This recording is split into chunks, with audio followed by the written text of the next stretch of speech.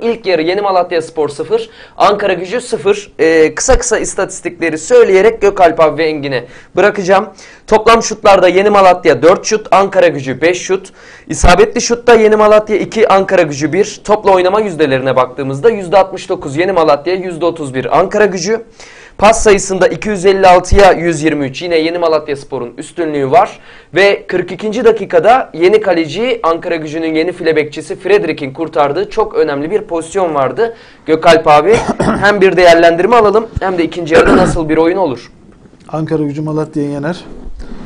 Ee, birden fazla gol atacağını düşünüyorum. Gol yemeyeceğini düşünüyorum. Ee, Malatya evinde çok gol atan bir takımdı. Ee, dı Sergen Yalçın döneminde. Ee, Ankara gücü Allah'ın izniyle inşallah yani biz bu programı bitirdiğimizde maç henüz bitmemiş olacak ama ee, inşallah Ankara gücü e, epey uzun bir aradan sonra galibiyet hasretini dindirmiş olacak. Malatya'yı yenecek. Ee, içeride oynayacağımız maça çok daha keyifli olacağız inşallah. Benim düşüncem o.